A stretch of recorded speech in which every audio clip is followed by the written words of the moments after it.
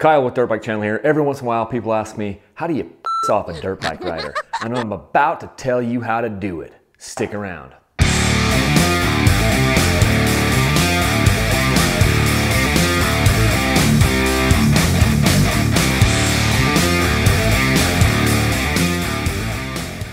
If you want to piss off a whole bunch of dirt bikers at the same time, I've got the perfect way for you to do it. Everyone's wondering how to do this. So let me explain how you do it. Guys, make sure to tune in July 1st of this year for some awesome information about this pretty sweet bike here. It's the 2017 Sherco 300 SER. Tune in July 1st.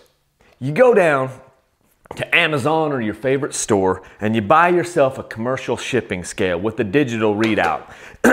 then what you do is you take a dirt bike and you use the scientific method and you put that dirt bike up on a scale and then you tell the weight of that dirt bike. And oh my goodness, you are going to get some hate and some vitriol like you've never seen.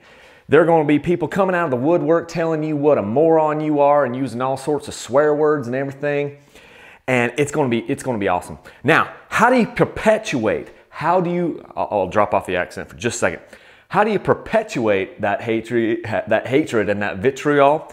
Well, then you take another bike that's different than the first one. Like, so say first you weigh this bike and you say how much it weighs on this exact same scale.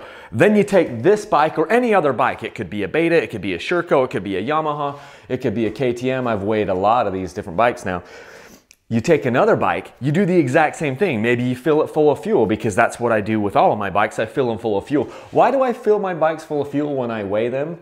Uh, because I ride them full of fuel.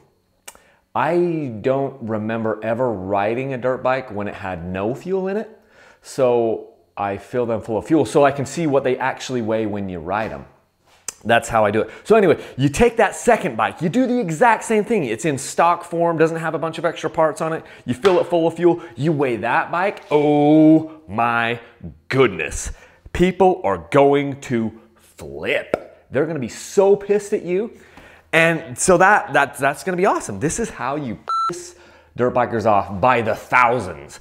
Uh, because invariably, this, the, the, amount, the, the amount that it says on this commercial shipping scale is going to differ from the manufacturer's website. And since we know that the manufacturer's website is the Bible to be trusted at all, at all costs, dude, the websites of these dirt bike manufacturers are laughable. You know, it's like uh, we're going to trust what they say about their bike weights on their websites when half the time, even with like KTM, they, their, their website is riddled, riddled with misinformation. KTM's site sucks. The other dirt bike manufacturers out there, I haven't seen one that has a good website that doesn't look like it was created in 1997.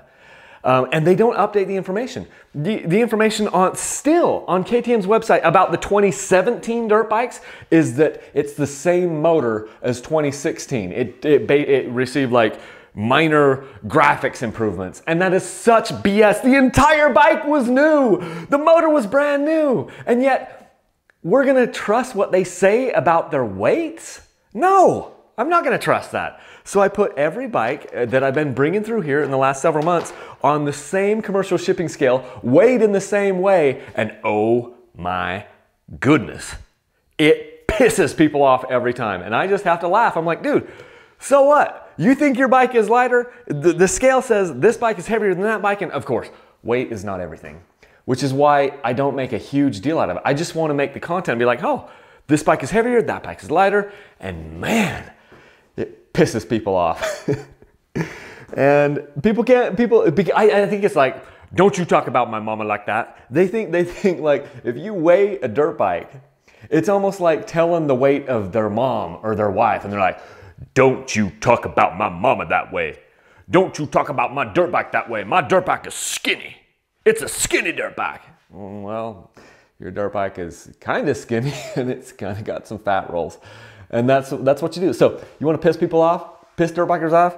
Tell them how much their bike really weighs using the same method every time to compare one bike to the next, to the next, to the next, and oh my goodness. You'll have people on Twitter, you'll have people on Facebook, you'll have people on Instagram, you'll have people everywhere on YouTube, on social media, just railing on you and saying what a moron you are and why do you weigh your bikes that way? You should weigh them with no fuel, you should weigh them with fuel, you should weigh them with half fuel, you should do this, you should do that, you should stand on your head. And I'm like, dudes, chill out. That's how much the bikes weigh when they are full of fuel because that's how we ride them with gas in them. Thanks for watching, guys. Hey guys, if you didn't already know, Patreon is the best way to support Dirt Bike Channel. We've got some really cool rewards over there, so click on the link up here that you see to become a patron. That'll take you directly to our site and you can check everything out. Uh, you can donate as little as $1 per month and it would really, really help us out. Thanks a ton, guys.